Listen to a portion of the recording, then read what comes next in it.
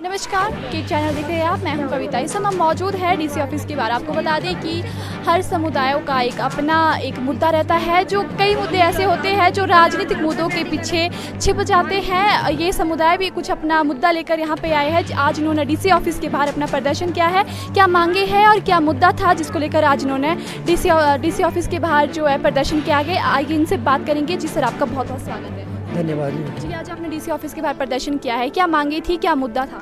मेरा नाम जसवंत सिंह है। मैं safe society welfare worker union का अध्यक्ष हूँ। जो आज हमने धरना प्रदर्शन किया है हमने जो पिछली साल लगभग अक्टूबर सतारह अक्टूबर 2023 को जो है बत्तीस सूत्रीय ज्ञापन जो है आयुक्त महोदय नगर निगम को सौंपा था।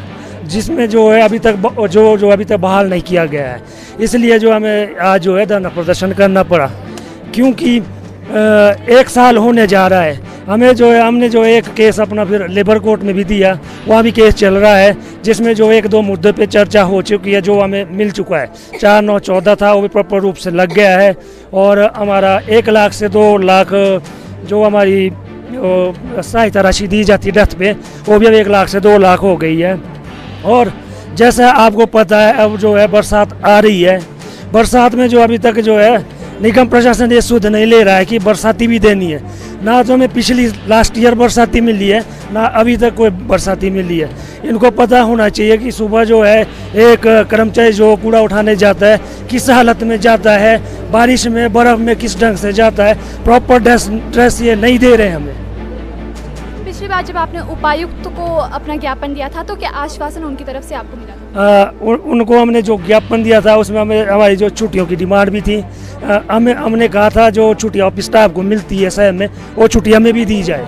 पर उसके लिए बोलते हैं आपका काम फ़ील्ड का है आप जो एसेंशियल सर्विस में आ रहे हैं तो सोसाइटी तो एक है पर एक सोसाइटी पे दो कानून नहीं होने चाहिए। ये हमने कहा था पर आश्वासन दिया कि करेंगे पर एक साल होने जा रहा है पर नहीं किया। अगर अभी भी ये नहीं करते हैं। तो हमें जो है मजबूरन आज तो धरना प्रदर्शन था। हमें जो मजबूरन जो है रोडों पे उतरना पड़ेगा। आप कितने पूरे लोग थे और कहाँ कहाँ से इस प्रदर्शन इस प्रदर्शन में जो हमारे जो शहर के लोकल भी है इसमें काफ़ी लोग कुछ गाँव से भी आते हैं कुछ नेपाल से भी है आ, कुछ अपने यूपी से भी है जो सारे इकट्ठे इसमें कार्य कर रहे हैं।